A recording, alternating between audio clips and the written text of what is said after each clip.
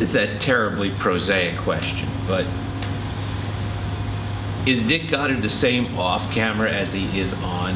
Oh, do you I- get that question a lot? Yeah, I ask you do. that? I, I get that question quite a bit, and uh, yeah, he he absolutely is. I, I don't think there's a fake bone in Dick Goddard's uh, body. He's just uh, what you see on the air is just exactly uh, the way he is uh, in in real life. Very human, very loyal, and you know, I, uh, he's, he's a very generous man in so many ways. One, one of the things that uh, I will never, never forget, and uh, by this time I was general manager here at, uh, at WJW, and um, uh, an amazing thing happened. We had an incredibly wonderful anchor woman that I'm sure everybody will remember, and that's Robin Swoboda.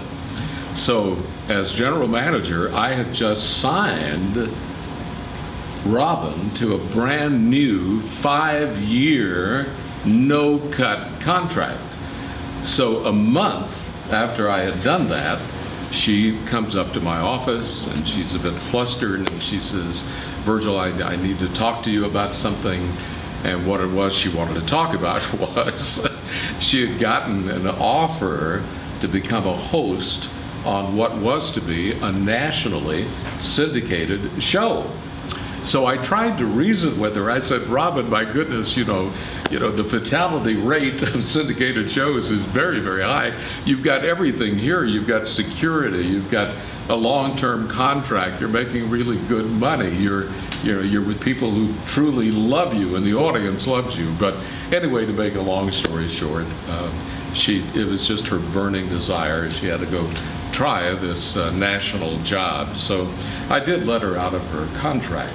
So then what happens? A few days later, up to my office comes Dick Goddard. And I don't even know if Robin knows this story. But, Rob, but, but Dick was so upset that Robin was leaving. He said, Verge, we just can't have that happen. He says, here's what I want to do. Take some money out of my contract and give it to her.